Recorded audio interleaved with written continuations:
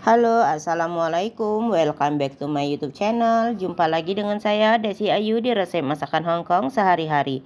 Hari ini saya ingin bikin buka puasa dua menu sederhana, simple, praktis, ekonomis, bahannya mudah didapat, sehat, sederhana.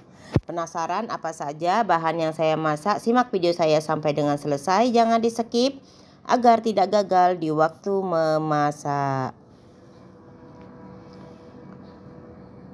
Ini rasanya seger banget. Nah seperti biasa ini teman-teman bahan-bahannya sudah saya sediakan setengah jadi karena kalau dari awal durasinya terlalu kepanjangan. Di sini saya mempunyai ada 8 ekor ikan ini yang sudah saya cuci bersih dan sudah saya buang kotorannya. Kepalanya saya buang dan ini sudah saya perasin uh, air jeruk lemon. Lalu saya mempunyai ada sayur selada. Ini seladanya yang bulat itu ya teman-teman. Bukan yang tebal yang lebar itu. Ini seladanya yang bulat yang sejenis kayak kubis itu. Lalu saya mempunyai ada jamur. Ini jamur apa? Nggak tahu. Ini jamurnya satu bungkus dan jamurnya belum saya cuci. Nanti saya cuci kalau sudah mau dimasak ya teman-teman. Lalu ini bumbunya simple banget. Ada dua siung bawang putih yang sudah saya memarkan kaldu bubuk dan garam. Nah, ini ikannya kita tambahkan pakai bumbu racik ikan goreng, teman-teman, agar lebih berasa gurihnya ya, teman-teman. Nah, pastikan tangannya bersih. Setelah itu kita marinasi ikannya e, sampai dengan rata dan tercampur rata. Setelah seperti ini kita diamkan dulu selama dengan 10 menit sampai ikannya itu bumbunya itu meresap ke ikan ya teman-teman.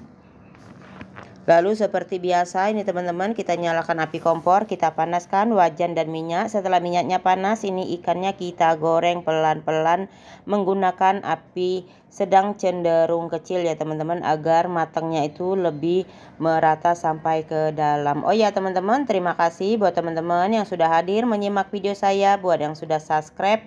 Semoga kebaikan kalian semua selalu dibalas oleh Allah Subhanahu wa taala. Buat yang baru hadir ataupun yang baru bergabung, mohon dukungannya dengan cara like, comment, subscribe, dan share ke media sosial Anda agar channel ini semakin berkembang dan bermanfaat. Jangan lupa nyalakan tombol notifikasinya agar kalian semua selalu mendapatkan video dan resep terbaru dari saya. Nah ini ikannya salah seperti ini lalu kita balik ya teman-teman kita balik kita goreng bagian sebelahnya ini karena ikannya udah kekuning-kuningan seperti ini ini cepet banget teman-teman ikan ini gorengnya itu karena selain dari kecil-kecil uh, pokoknya cepet lah cepet mateng gitu loh teman-teman jadi ini ikannya itu enak banget cuma saya nggak tahu ikan apa ya teman-teman eh, ikannya itu ber, itu apa berdaging banget loh banyak dagingnya loh Nah ini wajahnya saya miringin seperti ini agar uh, matangnya itu merata. Jadi goreng ikan kalau di Hongkong itu nggak perlu pakai minyak banyak teman-teman.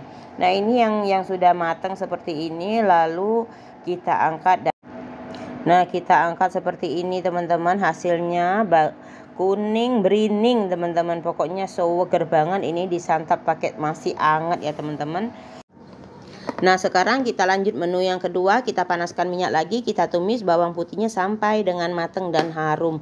Karena kalau gak mateng tuh nanti berasa bawang mentah teman-teman sayurannya. Setelah itu kita tambahkan jamurnya. Ini jamurnya sudah saya cuci ya teman-teman. Kalau tadi belum dicuci Kalau ini sudah dicuci. Setelah itu kita tambahkan lagi sayur selada yang sudah disaji Yang sudah disiapkan ya teman-teman. Ini sayurnya juga sudah dicuci bersih Dan sudah direndam menggunakan air garam. Jadi mas masak ini simple banget menu hari ini teman-teman. Kita tambahkan di sini garam, lalu kaldu bubuk. Bagi yang nggak suka kaldu bubuk boleh di skip ya teman-teman ataupun yang mau diganti pakai penyedap rasa ajinomoto, sasa atau sebagainya silakan. Lalu kita lanjut kita tumis-tumis sampai dengan sayurnya layu. Jadi masak uh, selada atau sayur selada ini nggak usah ribet-ribet teman-teman. Pokoknya ditumis-tumis dioseng-oseng uh, setengah matang aja. Aslinya bak selada ini kan dimakan mentah aja enak teman-teman buat lalap ataupun dibuat salad.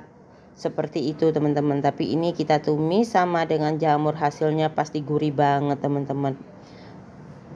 Jadi masakan Cina itu sangat super simple tapi sehat teman-teman seperti itu. Nah ini setelah seperti ini teman-teman karena posisinya saya puasa jadi nggak bisa dikoreksi rasa jadi kita kira-kira aja yang pasti ini rasanya pasti gurih ya teman-teman. Makanya waktu kita masak jangan terlalu ditambahkan garam terlalu banyak nanti takutnya keasinan. Setelah seperti ini lalu kita matikan api kompor kita angkat, kita masukkan ke mangkok saji dan siap untuk disajikan. Pokoknya ini enak banget teman-teman. Dimakan sama nasi anget dan ikan goreng tadi. Nah ini ikan gorengnya yang sudah saya goreng tadi Teman-teman. Dimakan sama nasi anget ini enak epol Nah ini dia hasilnya teman-teman Ikan goreng sayur selada sama jamur Terima kasih udah nonton video saya sampai dengan selesai. Semoga bermanfaat. Saya akhiri resep hari ini. Assalamualaikum warahmatullahi wabarakatuh. Jumpa lagi di next video dengan resep yang baru. Bye-bye. Sampai jumpa. Selamat menunaikan ibadah berbuka puasa.